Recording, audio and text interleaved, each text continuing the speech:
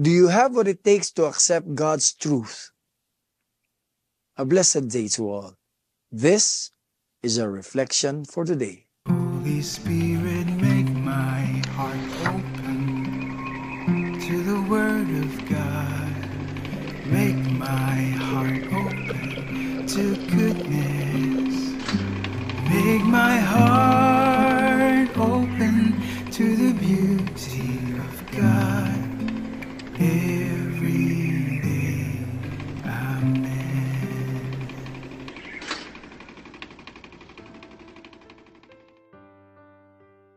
In the movie A Few Good Men, two Marines were accused for the death of their fellow Marine, Santiago, in their unit in Guantanamo Bay, Cuba.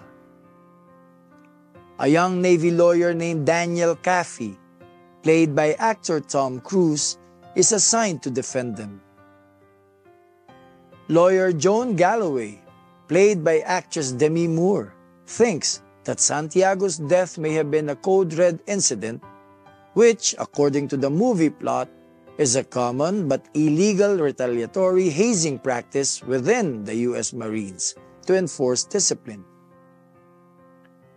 The case ended up being tried in a court-martial proceeding where the base commander, Colonel Nathan R. Jessup, played by actor Jack Nicholson, denies that code reds, which are a violation of military guidelines, are practiced, but nevertheless he sees them as a good way of enforcing discipline on the front lines. Kaffee asks if Jessup ordered the men not to touch Santiago. Jessup confirms and adds that Santiago was to be transferred to save him from any attacks. Kaffee asks if it is possible that the men might take matters into their own hands. Jessup angrily rejects the suggestion, stating that as Marines, his men have to obey orders at all times without question. Kaffee points out that if Jessup's orders are always obeyed, then there was no reason to transfer Santiago at all.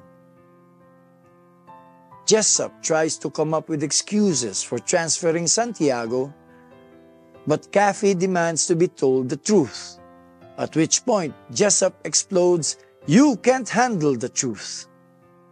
Kaffee then vehemently demanded that Jessup admit he ordered the code red. In a fury, Jessup yells that he did. At that moment, from being a witness, Colonel Jessup became a defendant for murder.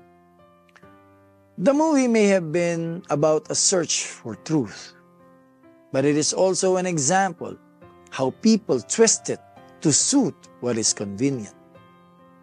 In today's gospel reading, we find a dialogue that resembles a courtroom deliberation over Jesus' identity and on what he deems to be necessary for people to become truly free.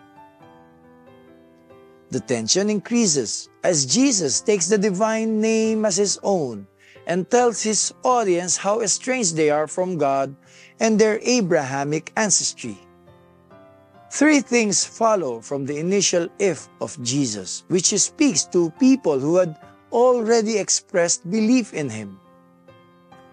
If you remain in my word, you are truly my disciples. You will know the truth. The truth will make you free. Jesus says that remaining in Him is the true measure of discipleship. It is the path to truth and freedom. This truth does not just refer to the opposite of falsehood. It is knowledge of God as revealed in Jesus. Knowing this truth is knowing God, made present in Jesus, who is the way and the truth and the life.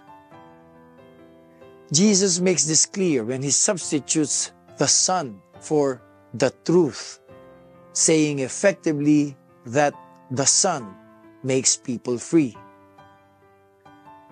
Jesus does not present himself as a self-evident truth, but that we will come to know him as the truth if we live with him and remain connected to him and his word. Thus, to be free is to take seriously the proposition that we are all enslaved to powers beyond our ability to master. Jesus' mention of freedom offends his hearers, who insist they have always enjoyed freedom. Totally missing his point, Jesus contends that without him, they are enslaved to sin. This makes them inferior because they cannot claim a permanent place or identity in God's family. This passage will continue to find new ways of offending modern sensibilities, especially in today's woke culture. To say that Jesus brings freedom implies that people live in slavery, and many will reject that they are enslaved in any way. May we be guided always by the Holy Spirit and not be misled into thinking that we are capable of providing for our own freedom, knowing that true liberation comes from not just believing or assenting, but indwelling completely with Jesus. Let us pray. In the name of the Father, and of the Son, and of the Holy Spirit. Amen. Our Father in heaven, I praise and thank you for revealing the truth. I ask that you set me free from the snares of the devil. Set me free from the darkness that envelop my heart, mind, and soul. This I ask in Jesus' holy name. Amen. In the name of the Father, and of the Son, and of the Holy Spirit. Amen. God bless your families, brothers and sisters.